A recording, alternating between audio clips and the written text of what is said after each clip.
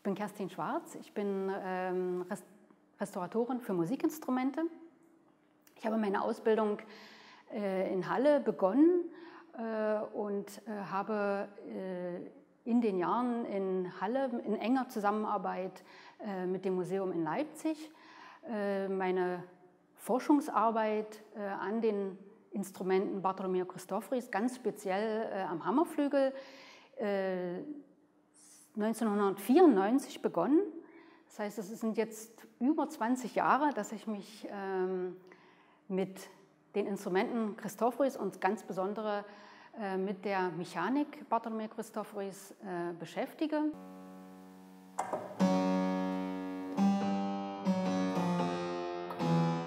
Das ist die andere.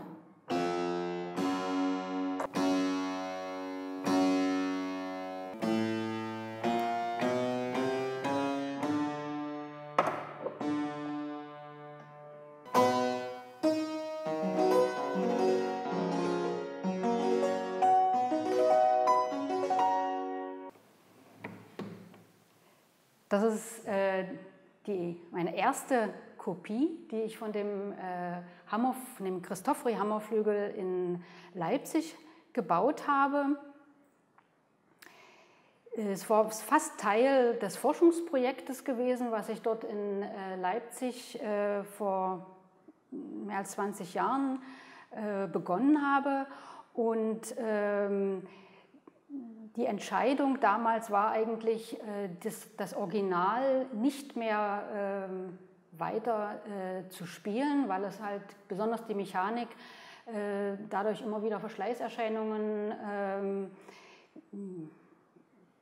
auftreten. Man hätte, um es regelmäßig zu spielen, hätte man wieder Dinge auswechseln müssen und insofern war natürlich, lag die, die, eine Kopie, das Anfertigen einer Kopie in der Luft. Äh, und der Hammerflügel äh, hat mich also so inspiriert, dass ich einfach von mir aus äh, entschieden habe, ähm, dass, dass das für mich ganz wichtig ist, neben der Forschung also auch die Forschung nach dem Klang zu verfolgen. Und so ist also dieses Projekt gestartet. Es wurde in Leipzig direkt gestartet, weil die das Gehäuse habe ich also im, äh, in der Restaurierungswerkstatt äh, begonnen, äh, bin dann mit dem Instrument nach Florenz und das wurde also dann in Florenz fertiggestellt. Es gibt neben dem Hammerflügel in Leipzig, der von den drei erhaltenen Christofori-Hammerflügeln der jüngste ist, gibt es äh, ein Instrument in äh, New York im Metropolitan Museum, äh, das ist von 1720. Dieses Instrument wurde von all den drei Hammerflügeln von Cristofori eigentlich am meisten verändert.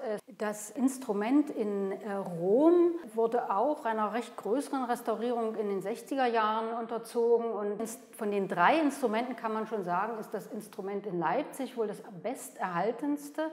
Es wurde auch in den 30er Jahren ähm, restauriert, aber äh, es war eine recht sorgfältige Restaurierung. Es wurden also keine Teile wie in New York äh, weggeworfen, ersetzt, äh, sondern es wurde wirklich restauriert.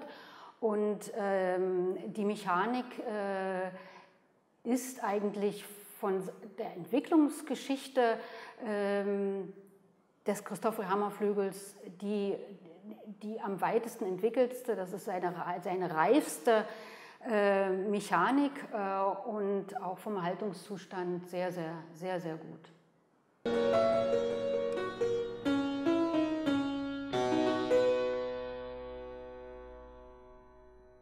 Ich bin ganz froh, es gibt also durchaus jetzt junge Musiker, ich arbeite also ganz äh, viel mit Luca Guglielmi, einem jungen Italiener, äh, zusammen, der also ganz un, äh, sehr viel auch eben Bach äh, spielt und der mich auch inspiriert hat, Silbermann, diesen Silbermann-Kopie zu bauen.